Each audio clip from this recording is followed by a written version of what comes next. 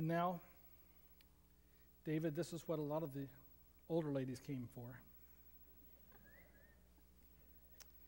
You may kiss your bride.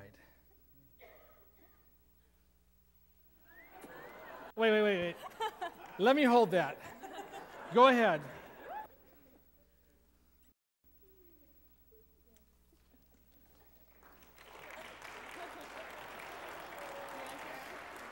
I return to them. What did you get? All right, great job.